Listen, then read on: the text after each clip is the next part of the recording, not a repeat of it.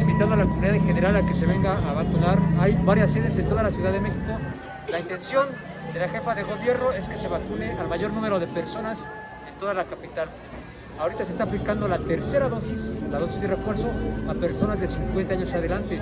Y también se está vacunando primera y segunda dosis a personas rezagadas. No lo olviden, es importante vacunarnos, cuidarnos y tener el esquema completo. Nos esperamos en todas las sedes aquí en la Ciudad de México. Chao.